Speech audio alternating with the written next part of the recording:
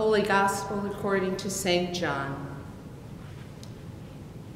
After he had appeared to his followers in Jerusalem, Jesus showed himself again to the disciples by the Sea of Tiberias, and he showed himself in this way. Gathered there together were Simon Peter, Thomas called the twin, Nathanael of Cana in Galilee, the sons of Zebedee, and two others of his disciples. Simon Peter said to them, I am going fishing. They said to him, We will go with you. They went out and got into the boat, but that night they caught nothing. Just after daybreak, Jesus stood on the beach, but the disciples did not know that it was Jesus. Jesus said to them, Children, have you no fish? They said, No. He said to them, Cast the net to the right side of the boat, and you will find some. So they cast it, and now they were not able to haul it in because there were so many fish. That disciple whom Jesus loved said to Peter, It is the Lord. When Simon Peter heard that it was the Lord, he put on some clothes, for he was naked, and jumped into the sea. But the other disciples came in the boat, dragging the net full of fish, for they were not far from the land, only about a hundred yards off. When they had gone ashore, they saw a charcoal fire there, with fish on it, and bread.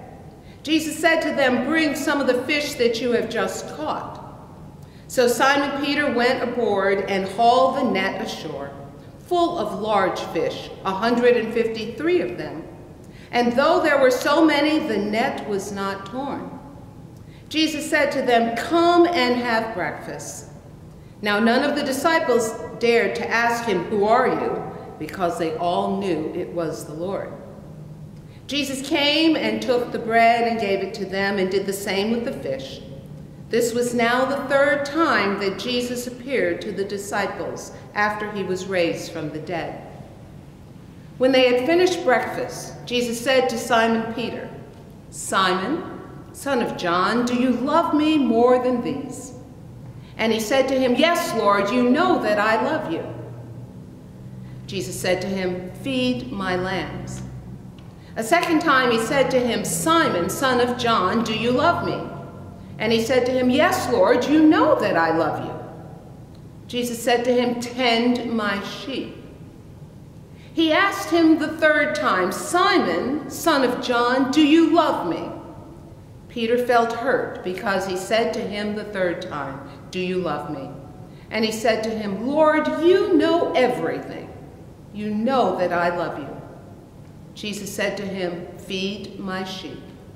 Very truly I tell you, when you were younger, you used to fashion your own belt and go wherever you wished.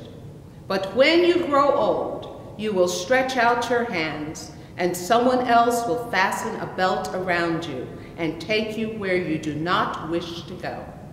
He said this to indicate the kind of death by which he would glorify God. After this he said to him, Follow me. This is the gospel of the Lord. Grace, mercy, and peace, my dear siblings, to you from our Lord and Savior, Jesus the Christ. Amen. Today's gospel is a story of building beloved community. In this addendum to John's gospel, this is the story of Jesus restoring his disciples and by extension, how Jesus restores each one of us. This is the third time, you'll note, that the Gospel of John reveals Jesus to his disciples after the crucifixion. Remember the first time was Mary Magdalene in the garden. The second was when Jesus appeared in the upper room with closed doors inviting Thomas to see and touch his wounds. And here we find Jesus at the seashore, the shores of Lake Galilee, where they were fishing. Each of these three revelations, those visited don't know it's the Lord, at least not at first. This revealing also points to the fact that the disciples, after the death and resurrection of Jesus, had returned to their former vocations. They were fishermen, And so we hear, I'm going fishing, and they all come along. Ever since the appearance of Jesus the last time in Jerusalem, they seem to have given up on hope completely and gone home, back to the way things were, back to their previous lives and their jobs. They're no longer in Jerusalem, they're in Galilee, 80 miles from Jerusalem, where Jesus had last appeared to them. The disciples traveled that long road because 80 miles back then was a long ways away. And then they're not even together here. There are only seven of them. So what does this mean? Obviously, the group has disbanded. They've gone their own ways, although there's some of them together. Does it mean that they've given up hope completely? Well, these were men who were despairing, broken, men that didn't know what the future held. So they went back to the way life was. As disciples, they needed a refreshing move. They needed to come again to the God who saves and claims them. And that might sound familiar to you because isn't that where we are sometimes? We need to be brought back to the God who names and claims us and spurs us to mission. We need to find out whose we are again. We need to be in the midst of beloved community.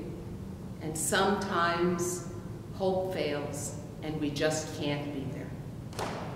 So here we are at the break of day, Jesus standing on the beach, and the disciples don't know who he is. Now, he's not that far away. They aren't far from shore, but they don't know who he is.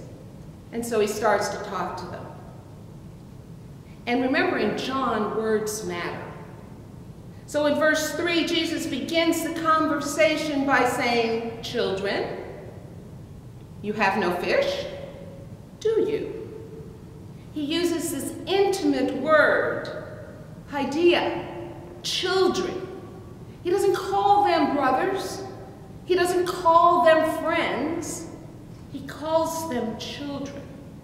It indicates that Jesus sees the vulnerability that they are experiencing. He needs to show them that just as we take a child and love and protect it, he is willing to do that for them. They need to know the love that he holds for them very deeply and that Jesus will protect them as one does little children.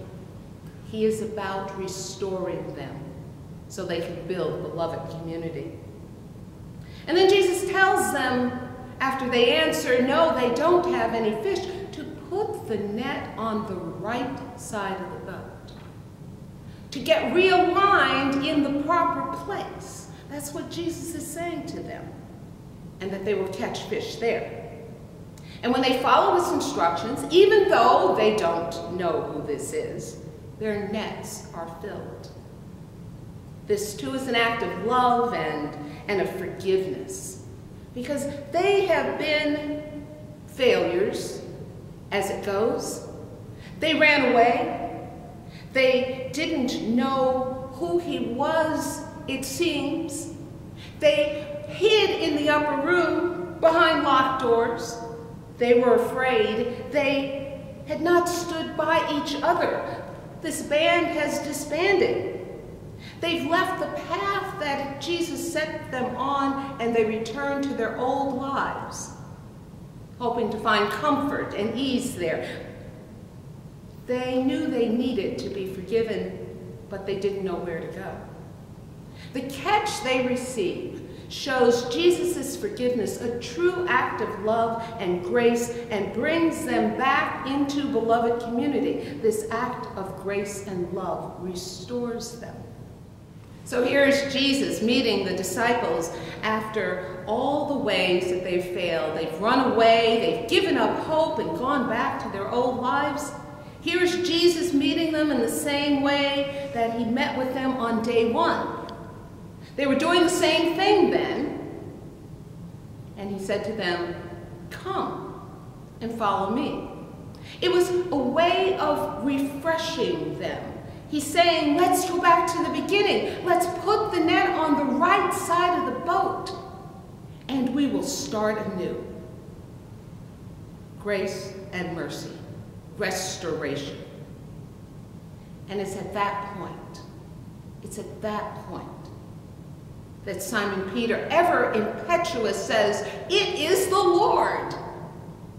Tucks in his fisherman smock, jumps into the water, swims to shore, leaving them all on the boat. And when they get to land, here he is, sitting with Jesus by a fire with fish and bread and being in concert with his Lord. Well, Jesus doesn't just stop there as they come up to shore. Jesus looks at them and says, bring some fish. Now, there's already fish on the fire, but it's Jesus' way to say, we're in this together. This is important that you bring your gifts and you combine them with my gifts, and we move forward together. It's restoration again. So they bring fish, and they join with Jesus, and they break bread together. Restoration at the table. Isn't that what we do? Join together at the table to be restored. They sit down and they eat together, and they share, and they offer hospitality one to the other. Now that they've been restored, Jesus wants to point them in a new direction. And so he says to Simon Peter, Simon, son of John, do you love me more than these others do? He uses Simon's full name and his title, Simon, son of John. Now that's interesting because I don't know about you, but in my experience, when someone uses your full name especially when it's one that you see as an authority in your life, you know you're in trouble. Or at least you think you are. And so I imagine that Simon thought he was in trouble here when Jesus used his full name and looked him straight in the eyes. But Simon had forgotten something that we often forget. That when our full name is used, it's not just because we're in trouble. Often our full name is used when it's covenant time, when it's a place where we are about to commit ourselves to a new place, to a new being, to a new calling. It happens in ordination. It happens at marriage. So Peter has nothing to fear. Jesus is about restoring.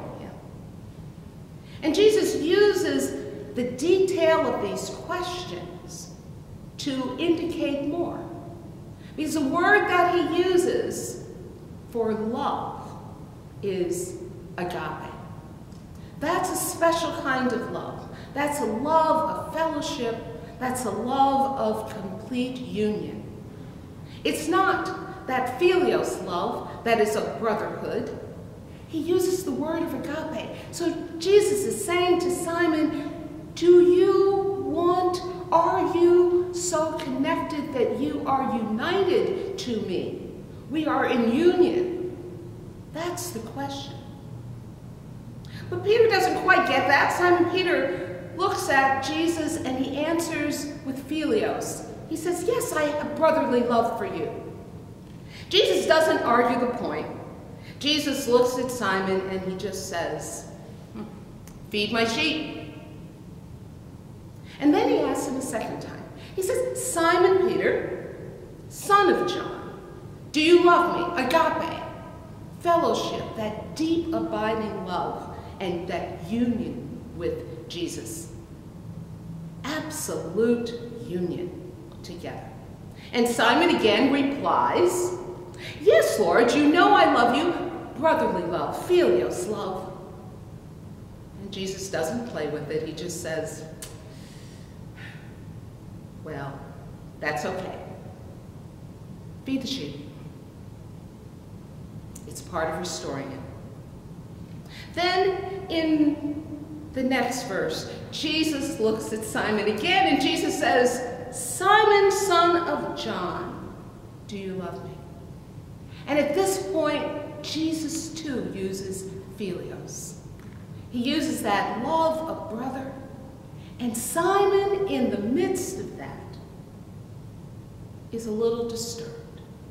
And so he says, Jesus, you know that I love you more than all.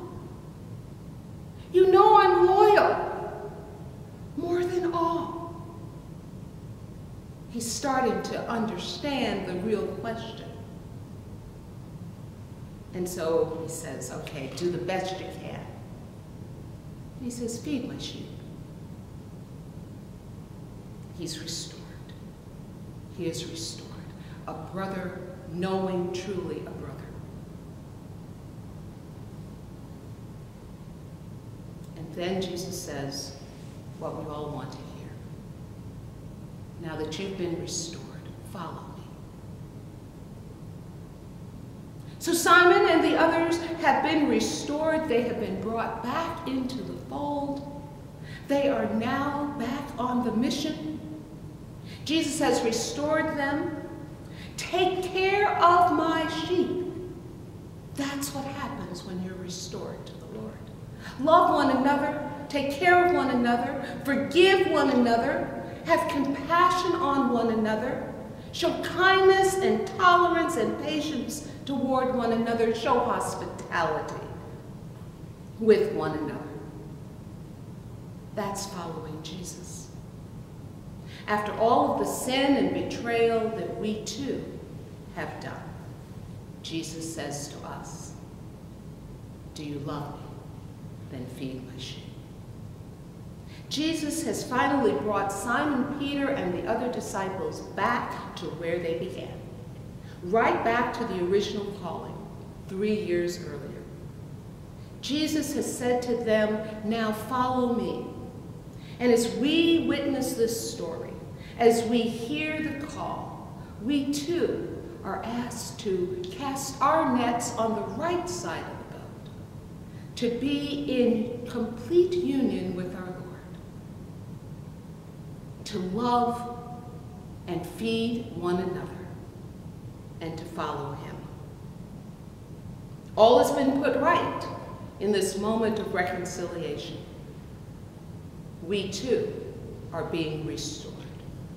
We too have a moment of new beginning, for Jesus has restored us to build a beloved community together.